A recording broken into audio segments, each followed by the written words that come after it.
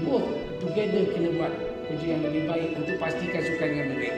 Bukannya berpolitik dalam sukan. Kalau kita berpolitik dalam sukan, seperti ada juga persatuan-persatuan sukan kebangsaan yang berpolitik lebih daripada parti politik, tak akan maju sukan kita. I say, tak ada siapa pun rakyat Malaysia yang gembira untuk berada di dalam kedudukan yang keenam dalam keseluruhan. Nobody happy with that. If you ask uh, our athletes yang dapat bronze, are they happy